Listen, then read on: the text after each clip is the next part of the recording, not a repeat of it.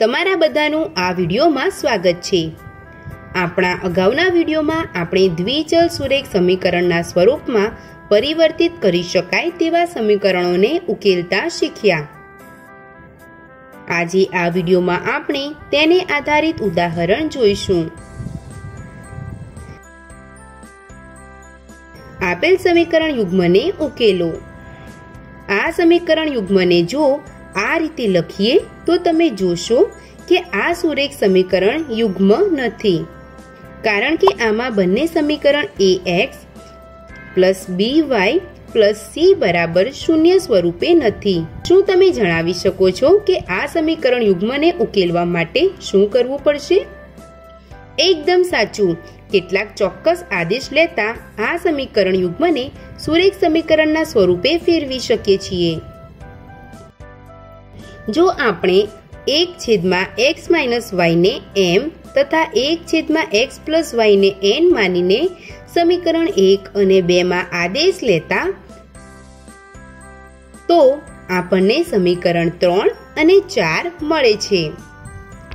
જો દ્વિચલ સુરેખ સમીકરણ યુગ્મને દર્શાવે છે.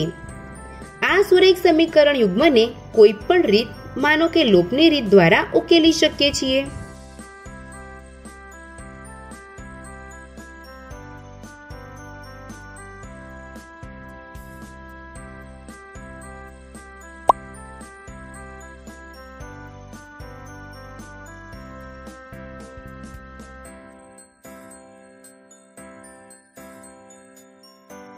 ઉકેલતા એમ બરાબર ચાર તથા એન બરાબર માઇનસ એક મળે છે. એમ માટે એક ભાગ્યા એક્સ માઇનસ વાય તથા એન માટે એક ભાગ્યા એક્સ પ્લસ વાય આદેશ લેતા આગળ ઉકેલતા આપણને સમીકરણ પાંચ અને છ મળે છે. સમીકરણ પાંચ અને છ ને ઉમેરતા આપણને એક્સ બરાબર ઋણ ત્રણ છેદમાં આઠ મળે છે. તેવી રીતે સમીકરણ છ ને સમીકરણ પાંચમાંથી બાદ કરતા આપણને વાય બરાબર ઋણ પાંચ છેદમાં આઠ મળે છે. તેથી આપેલ સમીકરણ યુગ્મનો ઉકેલ એક્સ બરાબર ઋણ ત્રણ છેદમાં આઠ અને વાય બરાબર ઋણ પાંચ છેદમાં આઠ છે.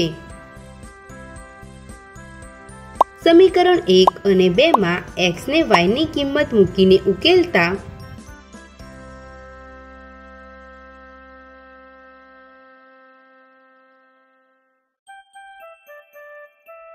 ચકાસી શકાય છે કે એક્સ બરાબર ઋણ ત્રણ ભાગ્યા આઠ તથા વાય બરાબર ઋણ પાંચ ભાગ્યા આઠ છે. આ સુરેખ સમીકરણનો યુગ્મ એકમાત્ર ઉકેલ છે. આવો એક બીજું ઉદાહરણ જોઈએ. રુચિ શાળાએથી પોતાના ઘરનું અંતર જે ચૌદ કિલોમીટર છે, જેનો કેટલોક ભાગ ચાલીને અને બાકી રહેલ અંતર બસ વડે કાપે છે. જો તે બે કિલોમીટર ચાલીને અને બાકી રહેલ અંતરને બસ દ્વારા કાપે છે, તો તેને ઘરે પહોંચતા અડધો કલાક લાગે છે. જો તે ચાર કિલોમીટર ચાલીને તથા બાકી રહેલ અંતર બસ વડે કાપે છે, તો તેને પહેલાં કરતાં નવ મિનિટ વધારે લાગે છે. રુચિ અને બસની ઝડપ શોધો. ધારો કે રુચિની ઝડપ એક્સ કિલોમીટર પ્રતિ કલાક અને બસની ઝડપ વાય કિલોમીટર પ્રતિ કલાક છે. આપણે જાણીએ છીએ કે ઝડપ બરાબર અંતર ભાગ્યા સમય હોય છે. જેથી આપણે કહી શકીએ છીએ કે સમય બરાબર અંતર ભાગ્યા ઝડપ હશે. એટલે કે પહેલા વિકલ્પ પ્રમાણે રુચિને ચાલતા બે છેદમાં એક્સ કલાક તથા બસ દ્વારા અંતર કાપતા વાય કલાક લાગે છે. આ રીતે રુચિને ઘરે પહોંચતા ટી વન વત્તા ટી ટુ બરાબર એક છેદમાં બે કલાક લાગે છે. જેથી આપણને સમીકરણ એક મળે છે. આ રીતે બીજા વિકલ્પ દ્વારા આપણને સમીકરણ બે મળે છે. તમે જોઈ શકો છો કે સમીકરણ એક અને બે સુરેખ સમીકરણના રૂપમાં નથી. જો સમીકરણ એક અને બેને આ રીતે લખીને બંને સમીકરણોમાં એક છેદમાં એક્સ બરાબર એમ તથા એક છેદમાં વાય બરાબર એન આદેશ લઈએ. તો આપણને સમીકરણ ત્રણ અને ચાર મળે છે. સમીકરણ ત્રણ અને ચારને કોઈપણ રીતે ઉકેલતા એમ બરાબર એક છેદમાં દસ અને એન બરાબર એક છેદમાં ચાળીસ મળે છે. હવે એમને એક છેદમાં એક્સ તથા એનને એક છેદમાં વાય લખી ઉકેલીએ.